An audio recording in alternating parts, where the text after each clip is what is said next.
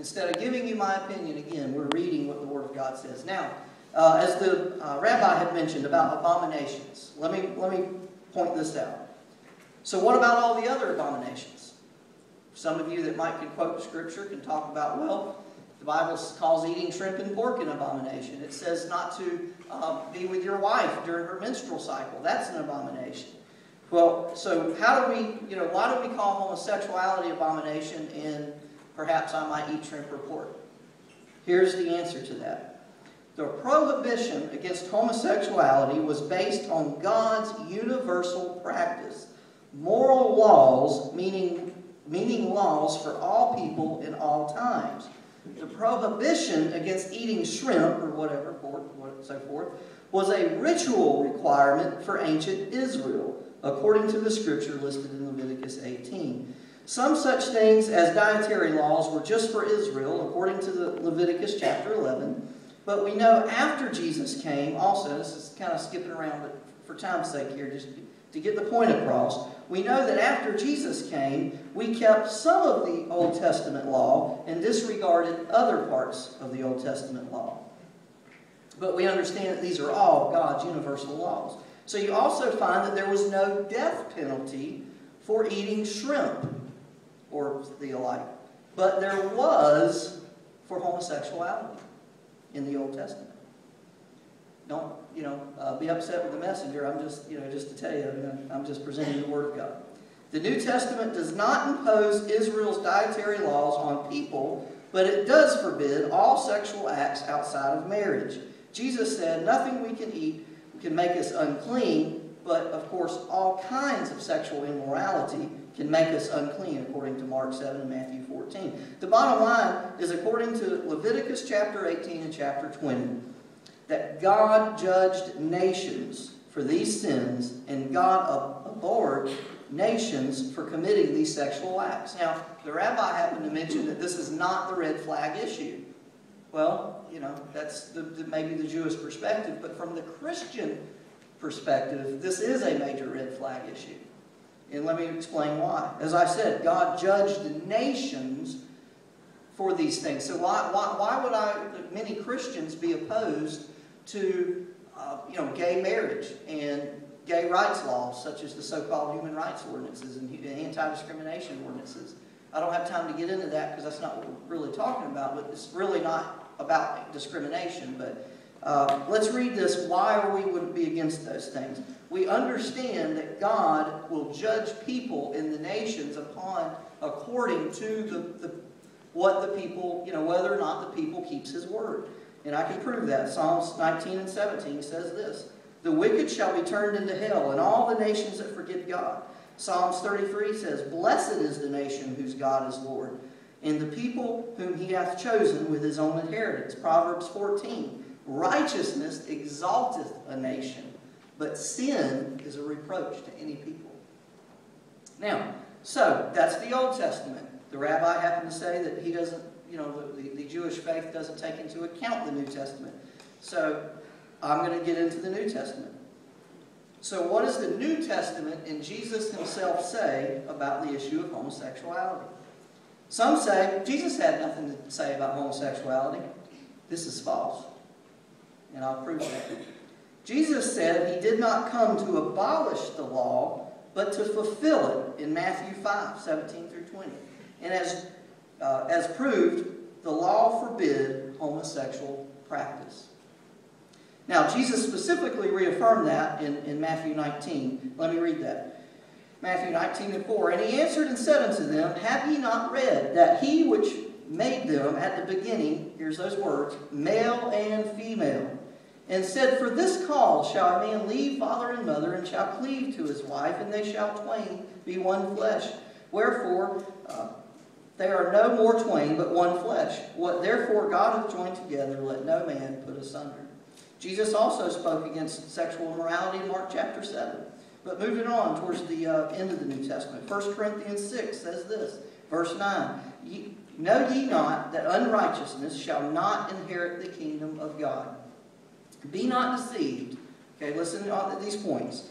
Neither fornicators, nor idolaters, nor adulterers, nor effeminate. Notice that word. nor effeminate, nor abusers of themselves with mankind. Here he's referring to homosexual acts. Verse 11, and such were some of you. So this is, by the way, this is the Apostle Paul writing um, to the people at Corinth. And he said, such were some of you. But notice what he said here. But ye are washed, you are sanctified, you are justified in the name of the Lord Jesus by his Spirit. They, there is hope. They overcome. They confess their, their sin. 1 Timothy says this, chapter 1, verse 9. Knowing this, that the law is not made for a righteous man, but for the lawless and disobedient, for the ungodly and for the sinners, the unholy and the profane. Notice what verse 10 says. For whoremongers, for them that defile themselves with mankind. We hear that again. For those that defile themselves with mankind, referring again to homosexual practice. And uh, for time's sake, I'm going to move on. Romans chapter 1 says this. I want to pay close attention here. Wherefore, God also gave them up to uncleanness through the lust of their own hearts to dishonor their own bodies between themselves. Okay, this is getting directly into the conversation of homosexuality, and this is in the New Testament. Who, verse 25, who changed the truth of God into a lie and worshiped and served the cre creature more than the Creator, who is blessed forever. Amen. Now here it is. Verse 26. For this cause God gave them up unto vile affections. For even their women did change the natural use into that which is against nature. God is saying this, you know, homosexual activity is against nature.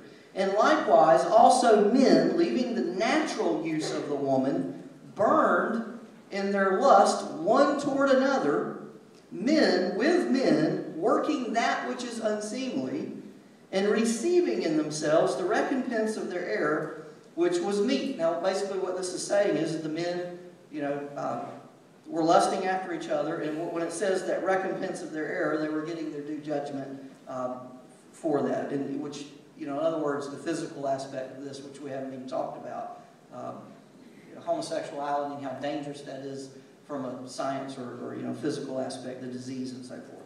Verse 28 And even as they did not like to retain God in their knowledge, God gave them over to a reprobate mind to do those things which are not convenient, being filled with all unrighteousness, fornication, wickedness, covetousness, mal maligniousness, uh, full of envy, murder, debate. Uh, this goes on, so I know I'm running out of time.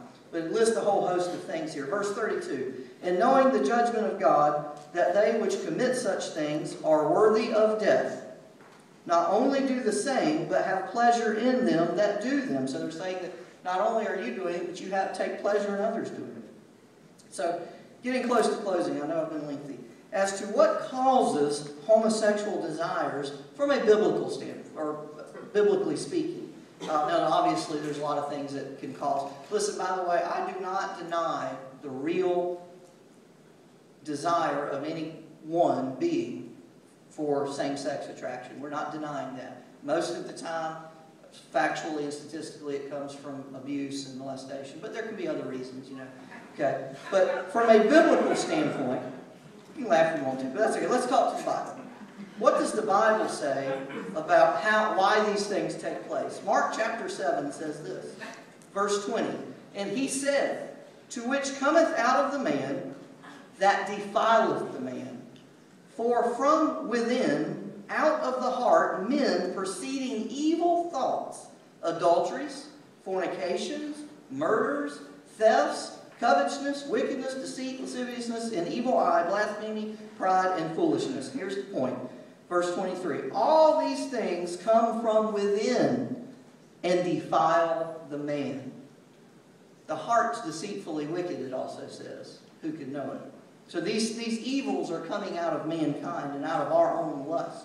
Now, James uh, chapter 1 says, But every man is tempted when he is drawn away from his own lust, whatever that is. Obviously, I'm a 33-year-old single male. You don't think that I struggle to lust after a beautiful woman?